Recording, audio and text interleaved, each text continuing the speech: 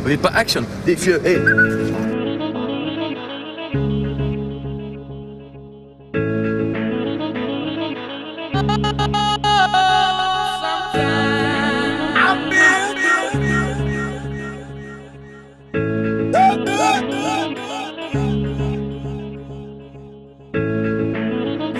get a good feeling.